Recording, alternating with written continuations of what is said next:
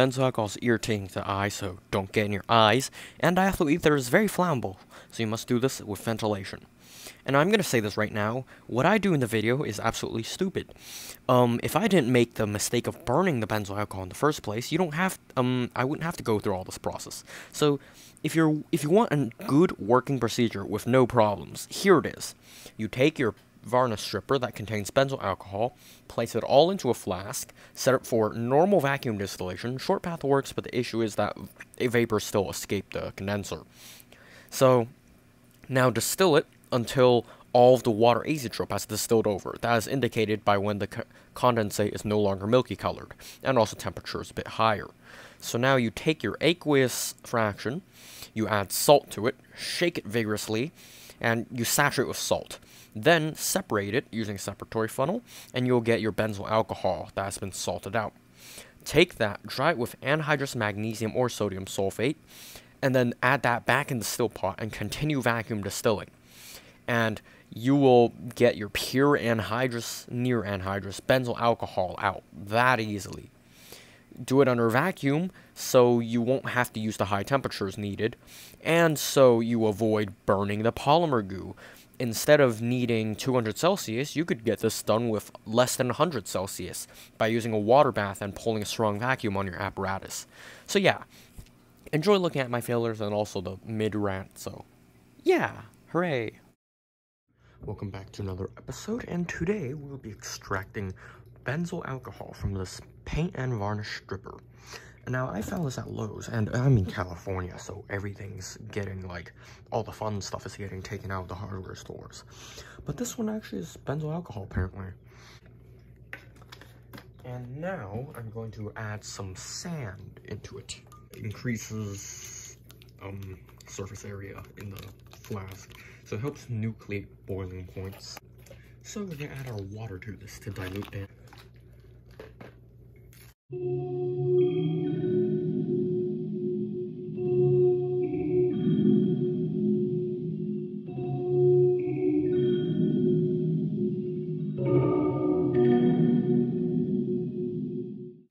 So you can see this mixture still bumps a lot even with the sand added, but it's fine. And here you can see our milky distillate of the 9% azeotrope of benzyl alcohol in water.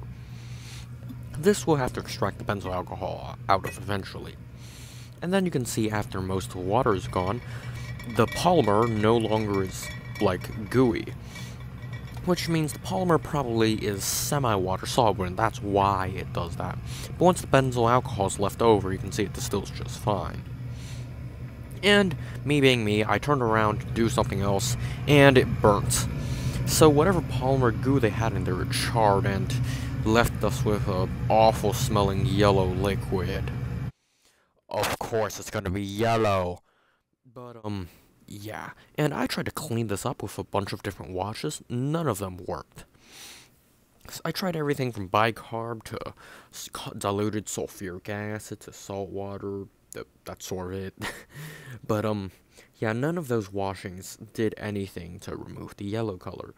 So, yeah. If you didn't, if you, um, did your distillation correctly and you didn't burn it, then it wouldn't be a problem, of course.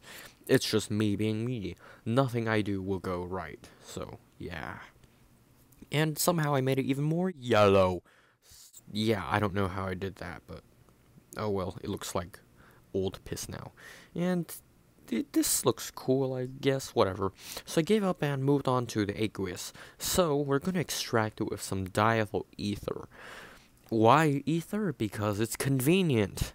So, I just extracted aqueous washes multiple times with ether, and well, I'm pretty sure some other solvent would work just fine, but I wanted to use ether because I can. And uh, I regret that because I used up all my ether somehow. But, um, yeah. So, after a bunch of washings, I tried to salt out the aqueous layer. When, um, yeah, that sort of worked, to be honest. So you could probably just salt your benzyl alcohol out, but I want to use ether, so yeah. And you can see we got a tiny bit of benzyl alcohol out of the aqueous layer. So next I combine the ether with the burnt benzyl, um, benzyl alcohol, put it in a flask, and added um, calcium chloride to dry it, which turns out That's a big mistake. Don't do that. It's the next day, and uh, I just realized I have a major oversight. Are you? You see this? Calcium chloride has expanded a lot, and that's because calcium chloride will complex with alcohols. You see, this is why I hate calcium chloride. It's just stupid. So yeah, I guess um, I'll just distill that sludge. Okay, have it set up. So it's in a 500 ml flask, and we're gonna distill everything over. And I'm using my external um, cooling water because I put some ice in it so it's cold, and hopefully I can recover at least most of my ether. Crank this up. Edward, no, you can't balance a flask unkept clipped on a round object. Yeah, how about that? Like, ground glass joints are quite strong. You don't, yeah, I don't even have to put something under it, but yeah. I'm still petty that I got banned for, not banned, but I got warned for doing that. But, oh well.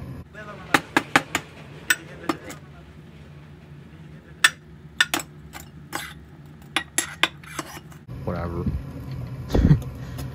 I can literally shake this and it's fine, but just wedge that under there to keep it in. Okay, we're starting to have boiling, so I'm to turn the heat down. And the temperature is in fact rising, so we're getting our ether out first. Six, and we're having a decent takeoff rate. I don't see any ether fumes off of that. But, uh, smell test, of course. There is some ether, so yeah, there is some escaping. Uh, that's inevitable. Why do I have my sash all the way up there? It's ether. it's heavier than air. But to be honest, there shouldn't be much fumes escaping anyways. But whatever, I'll lower the fume hood a bit. The stupid things get jammed easily. Well, it's a two-hand operation. That's a bit better. So yeah. Well, if there were any ether fumes, it would escape through that into my um drain system anyways. I, I need to make that airtight at some point, but oh well.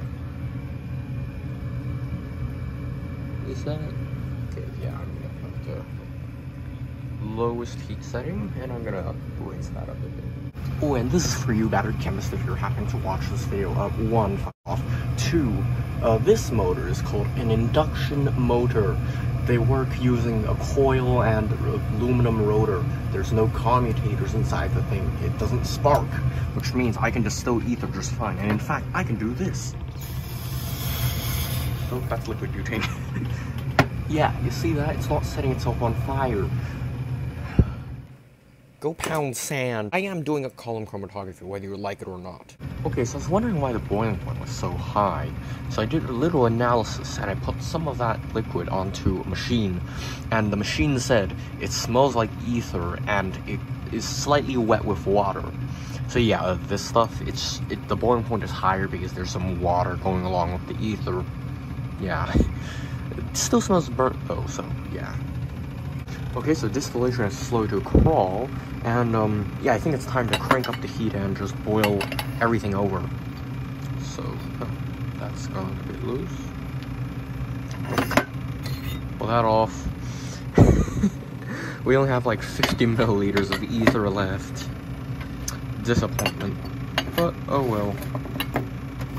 So, we're gonna start collecting everything now, so I'm gonna just put that underneath, and I'm gonna stop this.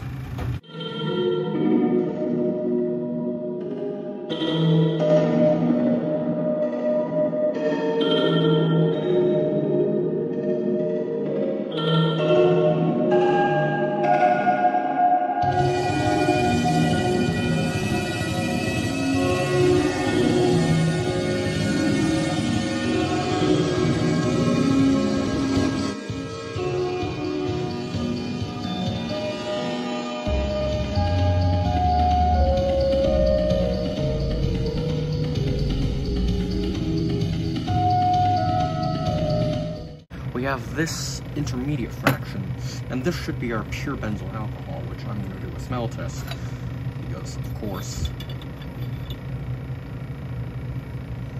Smells like benzyl alcohol, so I guess that's great. Uh, it, it's very refractive. Okay, so I know some charring in the flask, and that's from the goo and tar in there.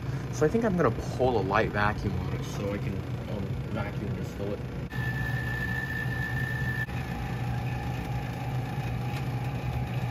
And there we have benzyl alcohol, slightly yellow.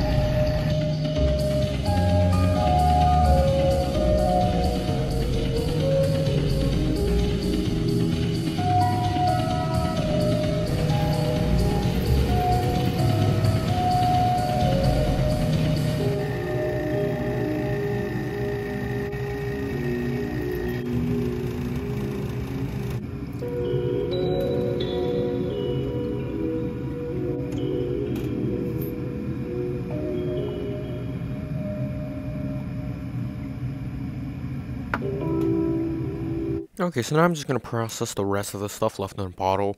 And for this, I just did a direct vacuum distillation, threw away the water, and ta-da!